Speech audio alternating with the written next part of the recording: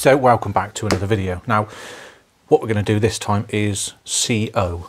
So the air plate and the fuel distributor work hand in hand but there's a setting with your 3mm Allen key. So if anyone mentions 3mm Allen key, it's quite a long one, that's about as long as you need. Fit down the hole. Now that gets the point of the air plate and the fuel distributor and gets the right fuel level.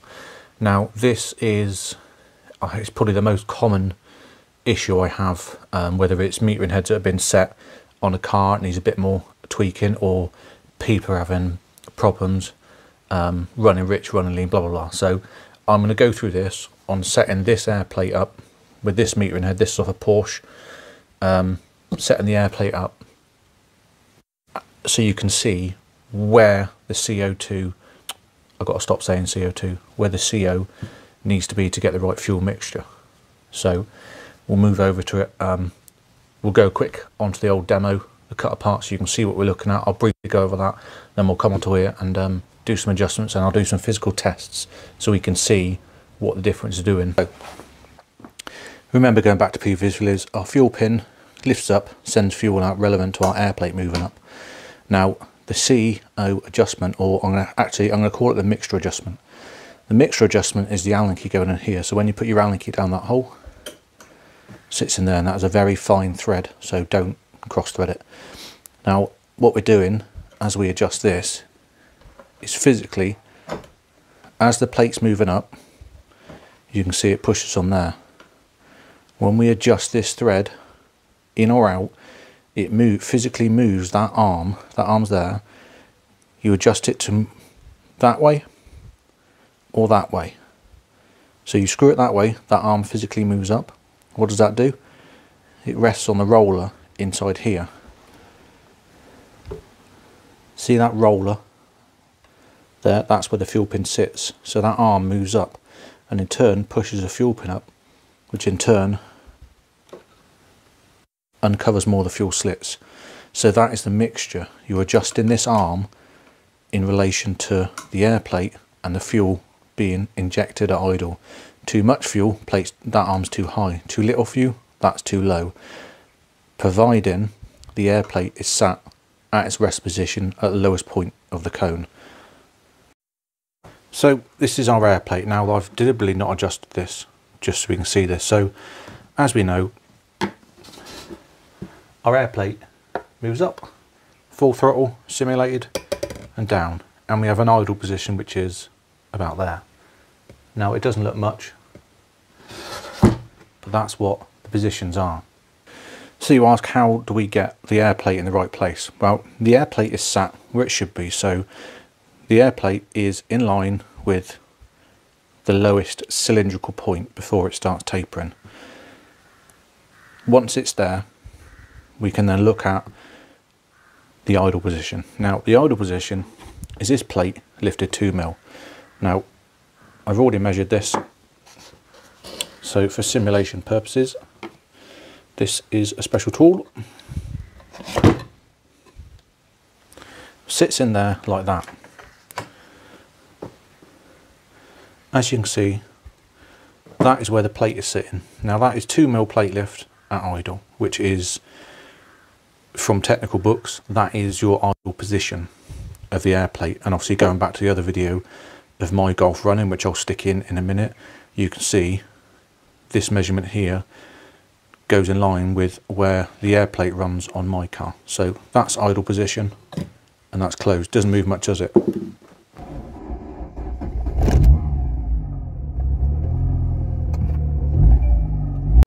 Right, so now we're going to move on to actually getting the mixture screw in the right position before we start taking measurements.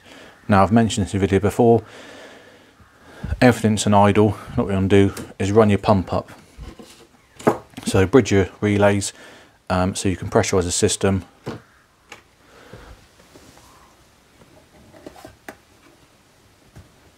How I've turned the power on. So here we go. Right, so we're up to system pressure. This is running about 5.5 bar at the moment for example and we've got nothing coming out the injectors. So what we want to do is turn this clockwise. Clockwise, as you're looking down, is more fuel. So I'm going to turn that in there. All I'm going to do is run the system up again and we want to be looking at the injectors when they start dripping. Still nothing. Another full turn. Now one full turn, a 360 degree turn on this, raises the arm we looked about 0.2 mil. It's not a lot, very fine. Like I said, that thread is very fine, so you don't want to knacker it. Still nothing. I'm going to do two turns to speed things along. There we go. Now you can see the injectors are starting to open. We don't want that because the plate's closed. So the injectors are opening. So where this is now, we're literally going to turn it half turn back.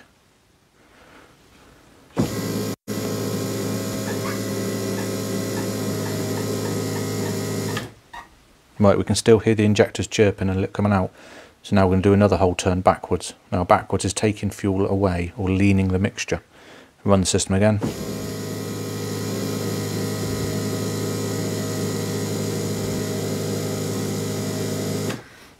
Right, there was a little drip on that one and that one, so I'm going to do a quarter of a turn.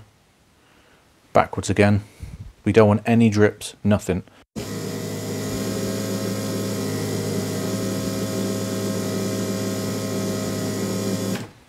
Right, so that is where we want it. That is a base setting, getting your mixture screw and your air plate and the fuel distributor lined up nicely that when the system pressure's in, no fuel is coming out of the injectors. Now we can move on to the next stage.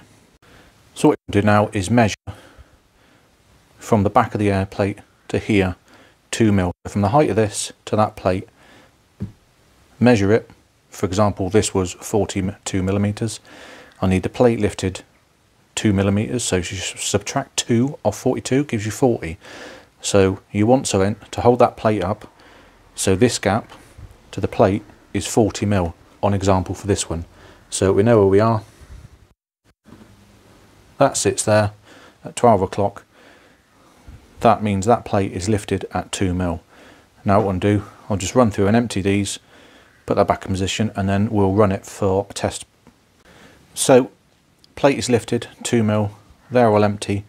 Now we're going to run this for 30 seconds. Now what we want to be looking for is 20 millilitres of fuel or 20 cc's of fuel in 2 minutes. So you want 10 in 1 minute you want 5 in 30 seconds. Remember that is bare minimum. So the minimum you want is 5 mil, 5 cc's of fuel in 30 seconds. So let's see what we've got. Ideally I want a bit more, but let's go.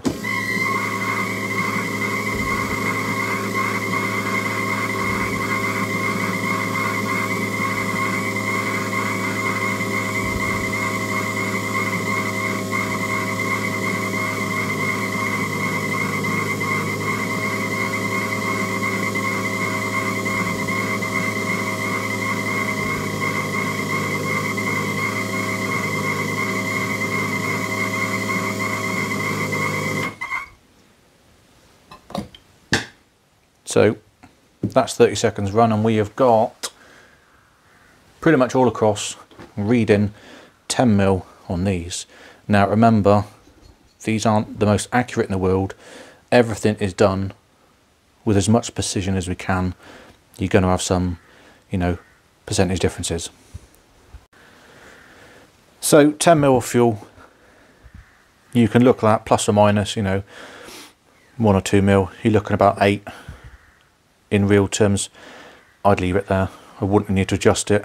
At this point on your car, if you do got injectors and bottles or your etc etc, if you got between 8 and 10 mil of fuel in 30 seconds, that'll do. That'll get your car running. It's not going to be overly rich, it's not going to be overly lean, it's going to be a good ballpark where you can then drive the car and take the car to somewhere who can test it properly at MOT station or if you've got an AFR gauge you can you know see what it's doing at idle and then convert that AFR reading into CO reading. And roughly working out with a 10, 8 to 10 mil amount of fuel, would you go for 10?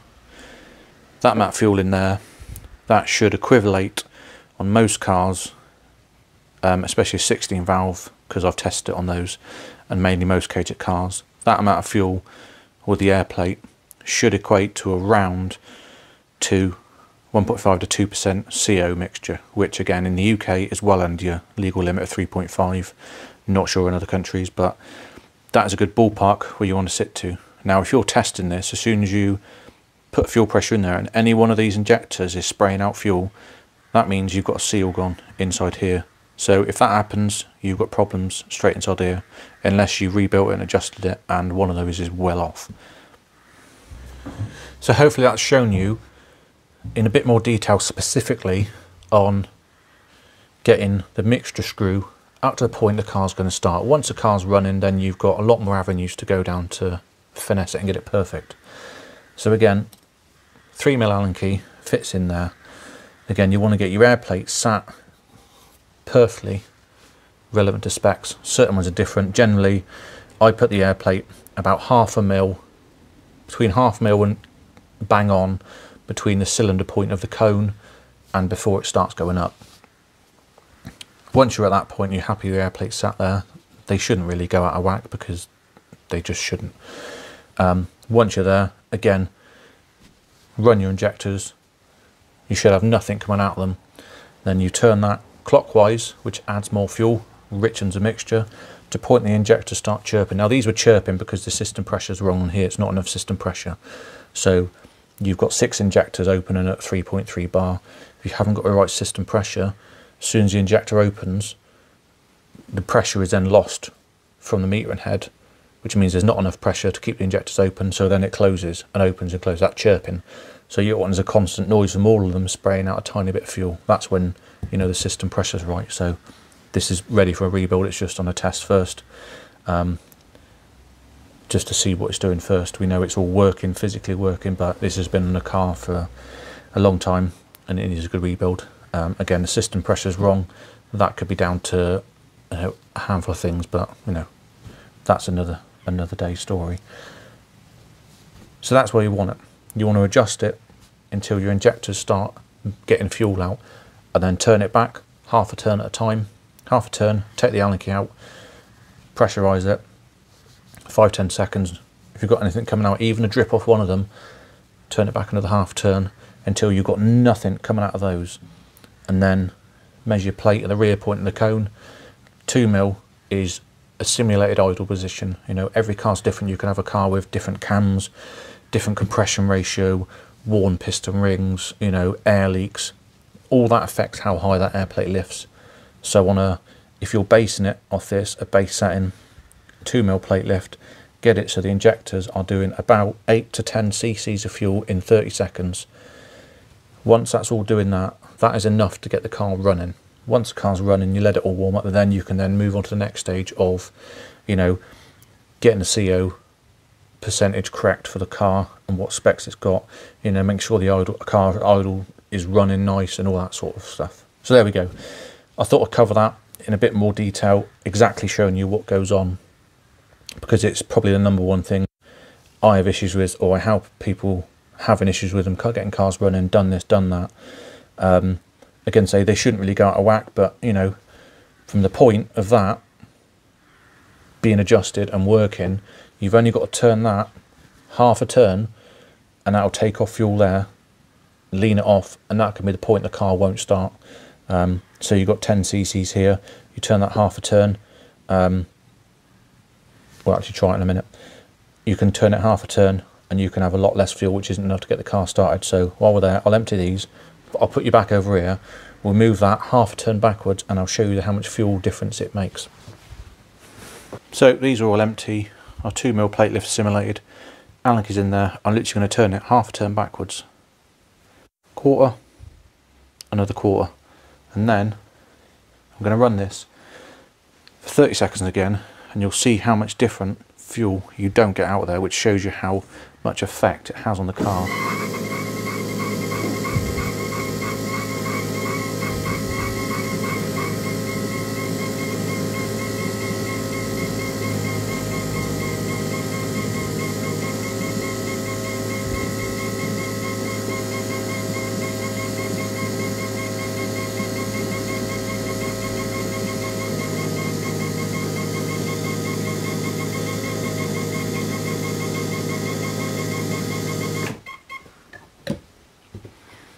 So that, that's 30 seconds past and we got down to, that's about five, about five or six mil. So, you know, plus or minus a bit, we're losing, I'd say four, is that four? Yeah, I'd say four, four to five cc's a minute of fuel. So there we go. That shows again just how precise the mixture screw needs to be. Now, if we're going off book specs on a 16 valve Golf or any four cylinder, pretty much most to be honest, book figure is 6 cc's in 30 seconds. That's bare minimum just to make the car work. Now, we've just adjusted that and we are down to our bare minimum. So that, I say bare minimum, that's you know, book figures, but book figures go out the window when you, you're looking at aged engines, like I say, worn engines work differently. But that quarter, half a turn took, I'm going to say 4 cc's of fuel away. So 4 cc's, if our minimum's 6, you take 4 away, it's barely going to run. And if you notice the injectors were chirping a lot more before when it was up. So again, that's how how pronounced just a quarter of a turn. So one full turn is 0.2 millimeters difference. So half turn, that's 0.1 mil. 0.1 of a millimeter takes away 4 cc's of fuel in 30 seconds. So 4, 8, so that's 16 cc's of fuel in 2 minutes. That's a lot of fuel you're losing just on half a turn. So there we go. That is your mixture screw or CO setting um, air plate setting there. That's how to do it. Get it in your ballpark. Once you're there, you've got 10 cc's of fuel. That's enough to get the car running. If it's not running, then you know, take a step back, have a look. You've probably got other problems. But fuel-wise, 10 cc's of fuel, setting it that way, that is enough to get the car running. Then you can move on to the next stage where you can, like say, get some gauges on it and make the fuel mixture perfect. So there we go. That's another video for. I thought it was helpful. It helps a lot of people out there. You know, I get lots of questions and lots of things over time. So know, I pick out bits of all of them and go, right, that's an, that's a reoccurring issue or reoccurring problem. So there we go. That is how to do it on a bench or on your car, getting it in a ballpark, your base setting, how I would do it and how we can see it works and how much difference just half a turn makes. So thanks for watching. Again, if you like the video, give it a like, stick the comments, happy to help. You know, click subscribe if you can. You know, the amount of people who watch the videos who aren't subscribed, bang that thumbs up. Doesn't cost you a penny. It helps me out. So cheers for watching. I'll see you next one. Bye.